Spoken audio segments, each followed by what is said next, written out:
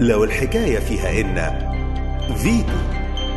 وإن هي إحنا ك كجهاز تنفيذي أو كوزارة التنميه المحلية أو أو مركز بنديها لها عشان خاطر إن هي آه، نقدر نديها التعامل معاها بالامر المباشر. يعني مش هنطرح بقى ونستنى نقعد لنا خمس ست أشهر ولا 10 أشهر لا ده نقدر بالامر المباشر. البنوك ساهمت معانا ب 15 عشوائية. خدتهم ده مبدئيا ودفعت 400 مليون جنيه ولسه هتدفع تاني. وإحنا قمنا ب 40 منطقة عشوائية الدولة بتكلفة مليار جنيه. ده اسمها مبدئية وده تطوير شامل بالنسبة لها. وهناك العشوائية طبعا لها نظم معينه بالنسبة للتطوير. وهنخش نفتح في 60 منطقة تاني. يعني الدولة داخلة بالفعل ماشية بخطى منتظمة بالنسبة للعملية بالنسبة لعملية العشوائيات. فأنا بطمن. العشوائيات كلهم هم هيشوفوا على أرض الواقع إن العشوائيات آه، يعني هتحتاج الطفره خلال الفترة القادمه وإحنا ناويين نفتح فيها كلها. يعني إحنا بس هي الإمكانيات ماديه لكن إحنا بنوفر إزاي الإمكانيات؟ إحنا بنحس المجتمع المدني كله إنه يخش معانا بالنسبة للعشوائيات بعض الجمعيات خدوا 10 مناطق بعض رجال الاعمال خد منطقة.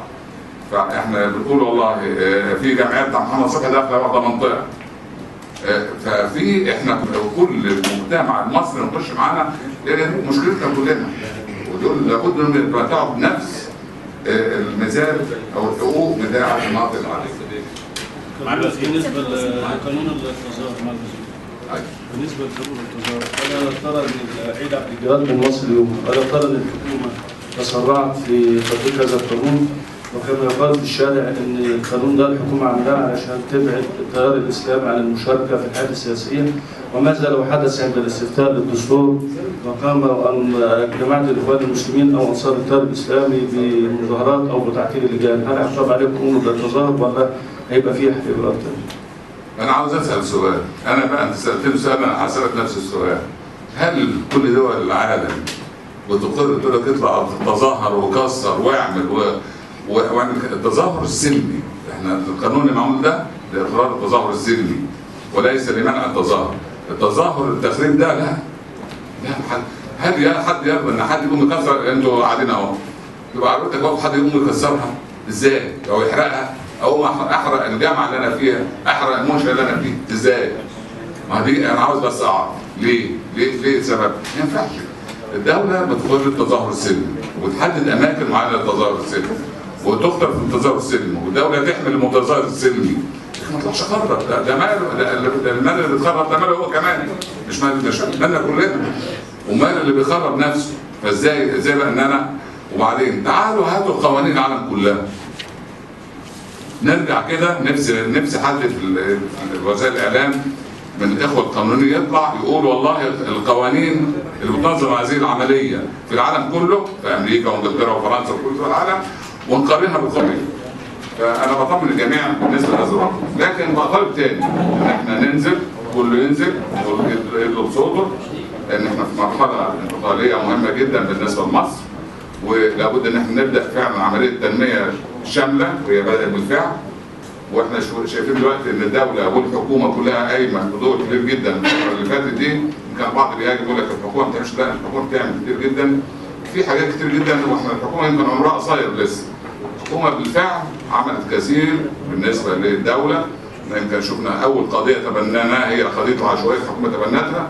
ويمكن إحنا بدأنا بدأنا أطلقنا مبادرة تطوير العشوائيات من شهرين ونص وطلبنا مساهمة المجتمع المدني ودخل المجتمع المدني. لا الكلام ده الكلام ده وهتبدأ تدعم يعني هتبدأ تمشي على طول انها هتبدا كلها؟ في اطار واحد على مستوى مصر كلها. المشروعات دي هتبقى مغذيه مثل المشروعات دي المشروعات المغذيه المكمله لو جينا بلد زي دمياط فيها صناعه موبيل اللي بيخش فيها المسمار البورما ويخش فيها الكالون ويخش فيها المفصلة ويخش فيها كذا ويخش ويخش ويخش ممكن قوي إن أنا باجي عامل كل واحد له مشروع صغير واحد يدي المسمار واحد يدي المسمار واحد كذا. هياخد العملية تسوى زي دول.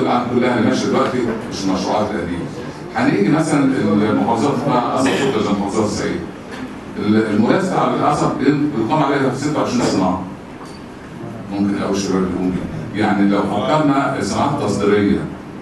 إن أنا أنشئ شركات كيانات صغيرة للشباب في المحافظات كلها إن أنا إحنا دلوقتي بنعاني نقول الأسعار.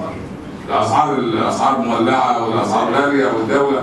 ما حدش عارف إن الأسعار دي أصلا بتيجي نتيجة ان إحنا في ظروف الجو اولا بتاثر على المحاصيل في بعض الأحيان. تلاقي مثلا كيلو طماطم النهارده ب 10 جنيه 15 جنيه. كيلو مش عارف كذا بكذا.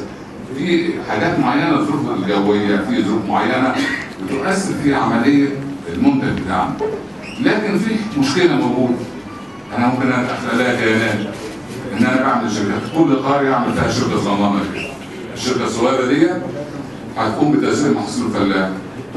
لو تيجي بص كيلو الطماطم ده مثلا فلاح بيجيبه باثنين بيقلصه بسنه ب 4 جنيه. لأنه بدأ يتنقل كذا كذا. لكن يبقى عندي كيان صغير. موجود؟ ما- خلاص هبدا أنا أنا هسوق ده. لو كسبت جنيه يبقى أنا وفرت على المواطنين الآخرين 2 جنيه.